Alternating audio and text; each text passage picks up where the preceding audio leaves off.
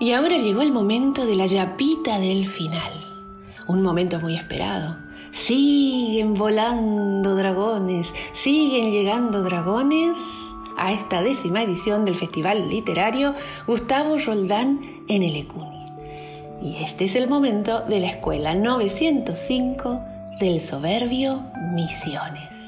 Aquí están los dragones de los chicos y las chicas y los chiques desde la sala de 4 hasta séptimo grado.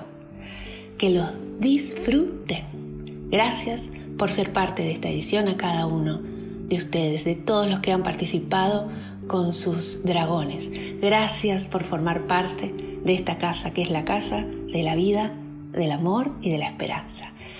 A disfrutar.